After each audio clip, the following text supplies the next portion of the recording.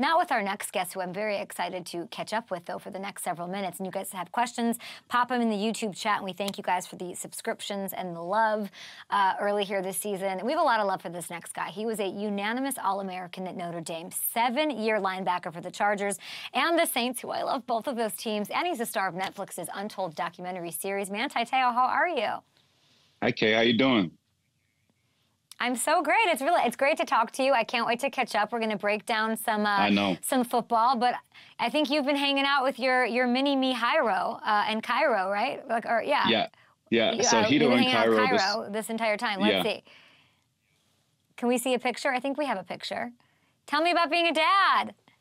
It's And- it's the best thing ever, Kay. Uh, I'll, I'll say that. I think nobody will know what true love is until you have children, and to have my daughter um, Hiromi and my my son Cairo, it's it's definitely been the biggest blessing for me for sure.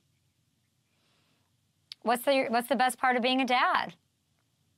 Um, just watching them grow up. I think now that I have two, to watch them play with each other. You know, my son is crawling around. They're they're actually the, the complete opposites of each other. My my daughter is very shy. Uh, she's very loving. My son is very very rough. And even though he's he's over a year younger than than my daughter, he's bigger than my daughter. Um, he's a lot tougher than my daughter, and uh, I'm excited for when they both grow up. But to see them play together, I think is the best thing about being a dad. Mm, I love that. You guys can uh, hit your questions in the Up and Adams Show chat here. Um, I miss you on the field. I want to talk some football here. You were named a team captain back in 2016 with the Chargers, and then your season Mm-hmm. ended after week three because you tore your Achilles. So obviously, I want to Mm-hmm. ask you about Aaron Rodgers. Same injury, under the bright Yeah. lights, all the pressure, all the hope of this franchise. It was so difficult to watch. When you Mm-hmm. saw it happen, what were your thoughts? And give us some perspective on the rehab that goes into that. Right. Well, when I saw it happen, I remember initially they were saying it was an ankle injury. And the first thing that I looked at was his calf. And right when I saw Mm. his calf kind of vibrate a little bit, I immediately told my wife, I was like, "Oh, it's, it's not an ankle injury. That's that's an Achilles. Because if it was an ankle injury, I know Aaron Rodgers would have got back up, probably, probably hobbled a little bit, got it taped up and went back in the game. But the fact that he sat right back down and had to have had to have people escort him off the field, and then you saw you, you saw the little trolley come out to come pick him up. I was like, yeah, that's that's no ankle ankle injury. But when it comes to the the rehab for an Achilles, it is probably one of the hardest rehabs because technology nowadays, when it comes to an ACL or any type of knee injury, by the time they're done, it's basically a brand new knee. Um, with an Achilles, they basically just take that the Achilles that just snapped into and they sew it back together. Oof. So it's it's it's it's a it's a cat and mouse game where you can't you can't stretch it that much, but at the same time you want to have that flexibility there. Um, you have to kind of time everything up, and so I think it's very important. And I know Aaron will have those people around him that can help direct him um, of when to stretch his calf, when to stretch his Achilles, when to rest it, when to strengthen it. Um, but it's definitely one of those Achilles, one of those injuries that plays a lot of games with your mind. Jason Barrett had his Achilles done Hmm. um, a few years ago, and I'm close with Jason, and he he reached out to me because he knew that I went through a similar injury, and I told him it's all in all in his mind. You know, just don't let his mind go to those dark places, and you know it'll be fine. It's just a matter of time.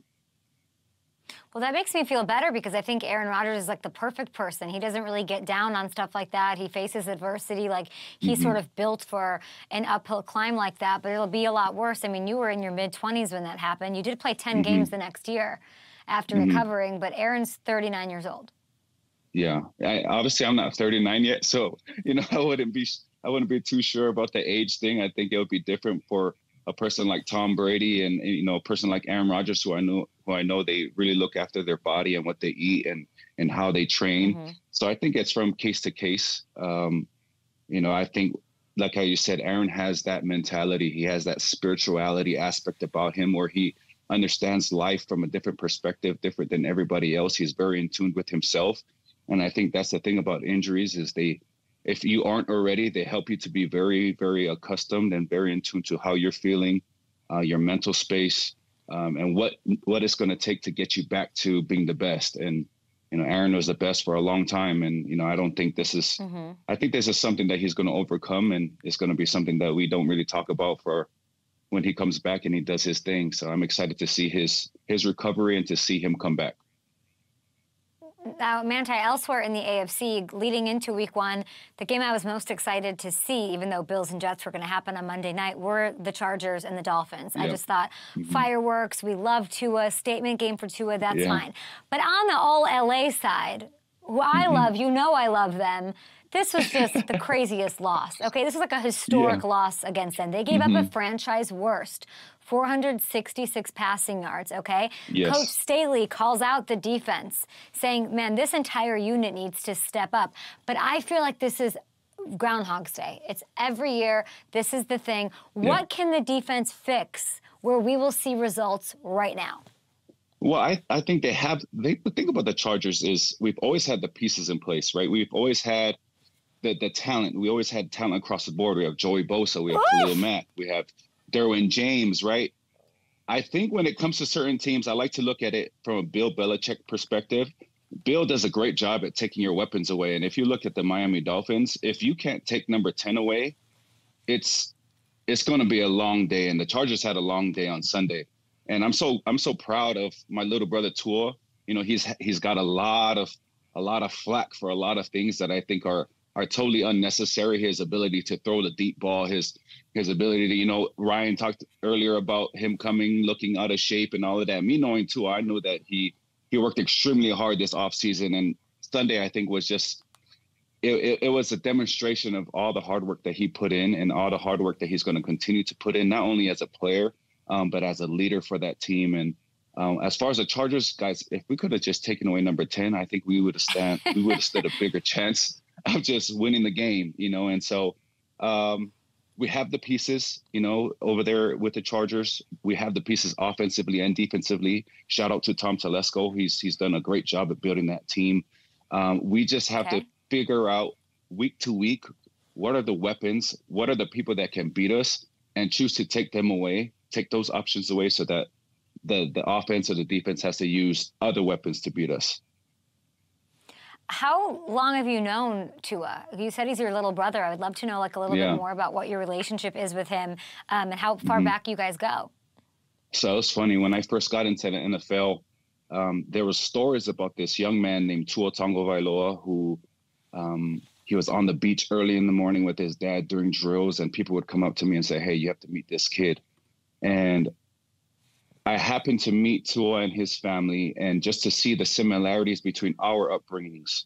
Uh, he's Samoan, I'm Samoan. He was born and raised in Hawaii. I was born and raised in Hawaii, and so um, just to see, you know, just again the similarities between he and I, and as our as our paths kind of continued, our paths crossed. Eventually, he was in the he was in the conversation for the Heisman in in in, in college at Alabama. He had a lot of success um, but he's somebody that I've that I've connected with, and he's somebody that I've I've kind of taken into my my family circle. Um, we call each other often. Mm. He'll call me almost every week just to say what's up. Uh, he'll actually call me on Saturdays before games. Sometimes I think they played the Niners. Oh, before the Niners game last year, he called me the, the day before the game just to talk story, just to say what's up, see how the family's doing. I checked in on his family, um, how his mom and dad are doing. It's it's just a big family. It's it's it has nothing to do with football, and that's what's so beautiful about those relationships that are so uh, independent of the game. Um, but to see him do his thing, to see him go out there and be electric, to see him just be unfazed by all the criticism, um, to go out there and just be a total beast was so. I was so happy to see that. Um, unfortunately, it had to happen against my Chargers. Um, but you know, for for for for me to see him do it, I was so happy for him and his family. I love hearing that. What do you make of how he's been with the media? You, of course, have a complicated relationship with the media, but Tua, yeah. a lot of people are surprised. A lot of people are yeah. supporting him, but hanging on to how he's he's just not having it this year. You know, I love yeah. it. Yeah, you know, I, I love it because it's it's it's giving people more color of Tua. You know, Tua's not trying to be the politician. Tua's not trying to be um, the franchise quarterback for the NFL. Tua's going to be Tua and I love that he's getting that scrappiness about him. Um, and that's something that it's it's it's good to see somebody in that light be human, um, to be able to see criticism affect him a little bit, but then to see him respond on the way that he's responding, not only behind the podium, but more importantly on the field. and he's continuing to do it, in my opinion, and with class, with poise. And I know that just how he's been raised by his parents, um, he's going to continue to represent his family, um, represent his culture, and represent everybody who he loves on the best way that he can. He is going to be human. Um, and I, again, like I said, I, I love that the criticism is kind of bringing that part of Tua out. I was going to say, so so I want to get I want to make sure I have this clear. Tua mm-hmm. is this is his reaction to criticism, or when you say Tua's gonna Tua, is this something that he's had, like the kids say, that dog in him this whole time? Because a lot of people think yeah. he's quiet, similarly to Justin Herbert, and being quiet, reserved, a little bit more introverted. Like, tell yeah. me, you know Tua. Tell me who Tua yeah. is. No, no, no. Tua, Tua got that dog in him now. you know, he he's got that dog. You don't you don't you don't accomplish all the things that he's accomplished without having that dog in him. And it has a lot to do with Tua, but it has a lot to do with his father and how he raised Tua um, to be resilient. towards the oldest in his family, and you know, for a lot of people that don't understand what being the oldest in a Samoan family means, you're basically like there's your father, and then there's you. Like you're the next guy in line. So you're being molded since the day you were born to take over a family and to have that pressure it just builds great greatness and you see that in Tua and I'm just so happy that Tua started to bring that that that feistiness out um, he also has that poise which is needed to be a quarterback which is needed to be a leader in his family in his community and so it's it's just a beautiful thing to see him pick and choose when to let these different attributes and characteristics out that I know he has and that the world is starting to see. I love that. And he's got a big game this week. I pointed it out before you hopped on. He's taking on Bill Belichick, a really good defense, mm-hmm. as you know. Belichick mm-hmm. destroys young quarterbacks, but not Tua. We have it right here. Mm-hmm. I think Tua's 5 and 0 against Bill Belichick, which is in rare air. Like he's up there with the Peyton Mannings. He's he gets mm-hmm. one more. He's 5 and 0 against against him. So I'm sure you're wishing him luck. Do you think he can pull it off this week and go 2 and 0? I definitely think Tua. I'm always gonna. I'm a. I'm a Tua fan. I'm a Tua believer. I'm always gonna root for Tua, um, just because of who he is and my relationship relationship with him. And you know, he's four and zero oh against. You know, according to that graphic, um, I have no problem that he's gonna go five and zero. Oh. I think it's gonna be a little bit more difficult because, like I, I mentioned before, Bill Belichick will make sure that number ten doesn't beat him. Yeah. Um, but the Miami Dolphins have so many different uh, weapons out there, and and the head coach does a great job in putting those weapons in different places and and helping them make plays. So I think it's going to be a great game, though. Um, two Alabama quarterbacks going back to back, facing off each other. I think mm-hmm. that's going to be a, it's, it's going to be a great atmosphere. It'll be a fun one. I wish you were there for that one. And of course, I just wanted to quickly say uh, thank you for all of the work you did in supporting Maui. And I know you worked with your Chargers on that. Uh, and you mm-hmm. mentioned Hawaii, of course, with your connection with Tua. So I just thought it was, I, we, we mm-hmm. all saw it and, and are help, trying to help support. We had Marcus Mariota on as well. And I know people are still really ravaged by what went on there. Yeah. And um, so the support by you was really huge. Now, you weren't just thank with you. the Chargers, and we're not just here to talk about Tua. Um, we got to talk about the Saints here for a little bit. Yes. And I know that Sean Payton isn't there anymore. Uh-huh. But I got, you know, we're talking about guys that got that dog in them. Like he's got like a yeah. crazy dog. and what's your best Sean Payton story? Um, Sean, my best Sean Payton story, I, I would have to say, uh, was after uh, we won. I forget what game it was, um, but it, it went viral. It was that little dance that he kept doing in the locker room, and usually Sean would let the boys, you know, after our game, we called it um, club what we call it? Um, Florida Lee, I think Club it was Dub? called. Or club, oh, okay. I think Club Florida Lee or whatever. Um, but anyway, yeah, we was, in there. The disco, you know, disco lights were going, and you know, it's usually like the players we get in a circle, we start dancing, having a great time. That's probably the one of the best memories of football is after a win. Um, but then Sean gets in there and he starts doing that little dance like that, right? And we're like, what is this man doing? Um, but it goes viral. Um, he's just he's just somebody who's really unapologetic. Um, that's Sean Payton. Mm. Uh, he's he's he he he's he's unapologetically him, and it's it's yeah. it's something that separates him in a lot of ways.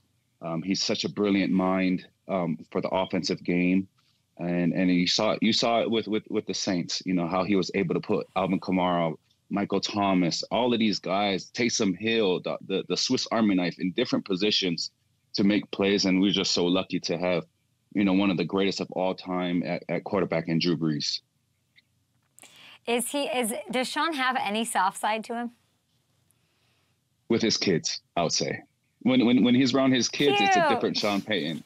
Um, but when he's when he's not with his kids, yeah, it's you, you just gotta he, he's like a father. You gotta figure out how he's feeling in the day. You know, you gotta figure out, okay, is dad did dad come back from work mad or is he happy? And then based on how you see him interact with other people, you're like, okay, like he's cool today. Let's go talk to him. You know what I mean? So you you got to fill him out first. I think that's super accurate, and I would avoid him at all costs. Like to me, I, I would just be like, "Up oh, there, he's walking over here with that clipboard. I'm gonna go way. over here." Yeah. Uh, what do you make of the Saints, though? Right there, it looks like the division could be theirs. New quarterback yes. in town, Derek Carr. He leads them to a win over the Titans mm-hmm. week one. They've got a nice little schedule. Panthers week mm-hmm. two. What is the ceiling for the Saints? I think the ceiling for the Saints is always high. I mean, you have Michael Thomas back. Hopefully, Mike can stay healthy. He hasn't been healthy in, in, in about two years, I think. Um, and now we mm-hmm. have a quarterback like Derek Carr, I think, who is is somebody that not only can manage the game, but that can win you a game. I think there are two different quarterback, two different types of quarterback. They're managers and winners. And, and Derek DC, he's one of those guys that I think can can can be that person for the New Orleans Saints. You have the Swiss Army knife in Taysom. I'm so excited for Week Four when AK comes back. AK is is one of my favorite running yeah. backs to watch. Um, I remember my rookie year, he put me in a blender in in, in OTAs one time, and I, I, was like, oh, I'm never guarding this rookie again. You know, I was like, hey, give me the rookie. And then when he came out, ran his little pivot route, and I was in a blender, I was like, yeah, never give me the rookie again. So he was somebody who I knew was going to be special since the day that I that I met him. Unfortunately, it was that day at practice. Um, but I, I can't wait to to when he comes back in week four. Um, you have Chris Olave on the outside, just a, a spectacular athlete, fast, in and out of the breaks, uh, in and out of the bricks, vertically fast, has great hands. You know, they they come from the Ohio State pedigree, um, but I think it's a different, it's a totally different situation than the Chargers. Defensively, they have that identity, and they have that they had that identity for a long time. And when I played there, totally. there was this commitment to excellence. Now you have a guy like Demario Davis, um, who's just you want to talk about a leader. That's a leader. He's a leader on the football field. He's a leader in the locker room. He's a leader in the community. Um, you have Cam Jordan, who's one of my favorite humans of all time.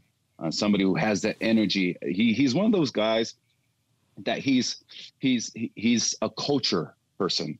You know, Mark uh, Mark Ingram was like that too. There there are certain pieces in the locker room that are culture pieces, and once you remove those culture pieces, your your program goes through this transition process of trying to figure out what identity they now have.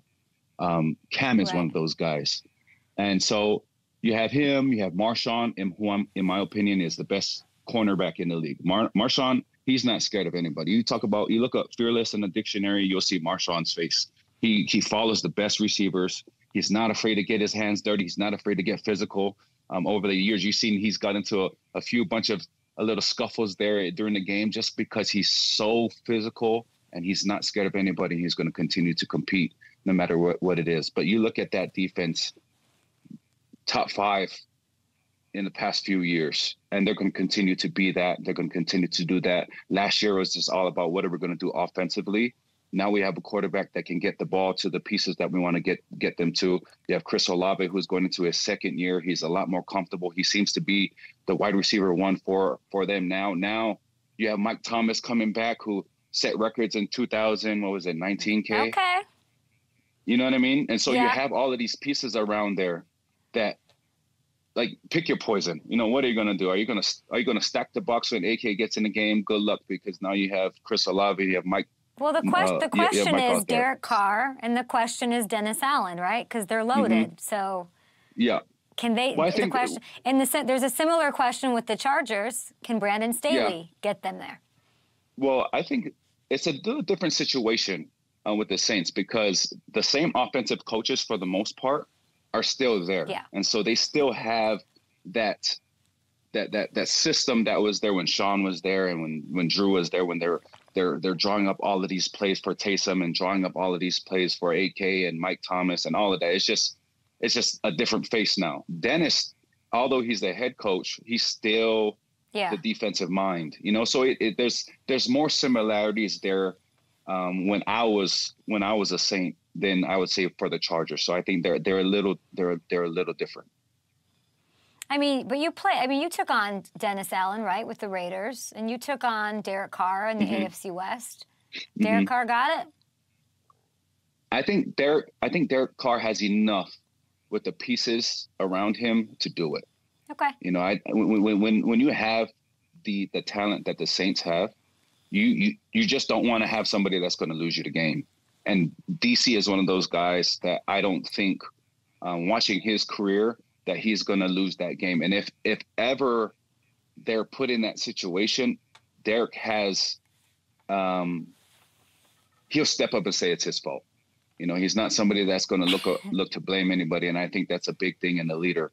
Um, he's a very spiritual person. He's he's he's he's he's he's a, he's a devout Christian, and with, with that comes a lot of poise, a lot of uh, reflection, mm. a lot of um, pers- uh, perspective um, that goes into um, being a leader of that type of team, where there's so many different characters, there's so many different alphas, um, that you have to be that guy to kind of come in there and just be that cool, calm, collected person that they can look to to say, okay, when when when things start getting chaotic, whether it's in the game or at practice, we need you to be we need you to be the one to bring everybody down. And I think DC is that guy. It's really well said. I want to ask you about Notre Dame. Thank you for your NFL analysis. But uh, mm-hmm. the Untold documentary, there's been a lot of mm-hmm. praise for your part in this, especially, I mean, the series was really powerful. And you have a mm-hmm. message mm-hmm. about forgiveness. So, what has it been mm-hmm. like hearing sort of the empathetic, positive response? Well, it's been such a blessing, Kay, honestly. Um, but I think what has what has been the most surprising for me um, is the reach that that documentary has had, the reach that that story has had. Um, that there's been so many people around the world that have reached out that are have gone through so many different things, um, that have been suicidal, that have had bouts of, of, of very very dark, deep depression, um, and how my story has inspired them. And I never thought that that would have happened um, going into this project. Um, and so, even more so now, I there's a responsibility that I have that I have to really um, carry this this this flag, if if if if if you could say it that way, where I could be an inspiration to people to just keep going, um, no matter what it is. Just have some grace, be kind to others, you know and i think the way that our, our society is going i think we could go we could we could show a little mm. bit more mm. love we could show a little bit more kindness we could show a little bit more understanding um, and the more that we can come together as one um, the better off we'll be and i think if if i could just sprinkle a little bit more love and peace in this world that's i think that's the thing i'll be most happy about but it's definitely been um, a blessing for me to see the positive impact that it's had and you know if i if if I could wish for anything, that's what it would be. It's really, really beautifully said. And we're going to wrap it on Notre Dame because hopefully there's some positivity there as well. Number nine, they've been crushing it. They've got a bit yes. of a packed schedule ahead, though. If we look, they got yes. Ohio State, they've mm-hmm. got Caleb Williams, USC. What's the game that Manti Te'o circling on the calendar as a must watch? And what's the ceiling on this squad? Well, the one that is a must watch for sure is that Ohio State game. Um, I think that is something for Coach Marcus Freeman, being an Ohio State alum, um, it's, it's something that he's going to circle too. And so I'm definitely circle that game for the Notre Dame Fighting Irish fans. I will be at the USC game, um, and so I'm definitely always circling that one as well. But I think the ceiling is is they they have no ceiling. The ceiling is whatever they want it to be. I mean, I think that's that's been the thing for Notre Dame that we've always suffered from. Um, it's will play so good against really good teams. I remember we beat we, we beat Clemson um, when nobody thought we were going to beat Clemson, but then we'll go and we'll hmm. lose. Hmm. Like we lost to, I think it was Tulsa my my sophomore year. You know, and it's one of those things you look at it like, how can these two teams be the same team? Um, I think in order for Notre Dame to be where we need them to be, number one, follow Coach Marcus Freeman. I am a firm believer, Kay, that every team is a reflection of their head coach. You look at the identity, you look at the toughness, you look at the resilience, you look at the culture. Mm-hmm. It's all a reflection of the head coach. And I am a big fan of Coach Marcus Freeman. I love his his values, his morals, what he's trying to do there with those young men on and off the football field. So I think as they continue to embody his his outlook on football, his his his character, who he is, I think we're going to be in a really good place. It's just a matter of time we have a really good quarterback who's who's had a lot of success in in at Wake Forest, I believe it was. Um, mm-hmm. And I, I I think again, just like with the Saints, as long as you have somebody at the general position that can win you the games, that can be that that calm amongst the storm when stay things right start getting here. chaotic. Yeah. Just stay right in the middle, whether it's high or low. He, he's that guy. That's all the best quarterbacks in the league have that ability, in, in my opinion, to be very, very poised individually and as a team. And I think we have that in in the quarterback that we have. I love estimating how he runs the ball. He's one of those old school. He reminds me of Jerome Bettis, just downhill bruiser. Um, but he once he gets into space, he has the ability to separate a little bit. And we saw that in in the past two games um, with him. Mm-hmm. Um, but again, I think the defense is it, we're starting to figure it out a little bit. Um, we're starting to play more physical, and I think as we bring those two worlds together, um, again, the sky's the limit for for my team. I'm always going to. I'm in I'm in BYU country, Kay. I'm I'm, I'm around U of U and BYU fans. I, I gotta get my Notre Dame flag out there.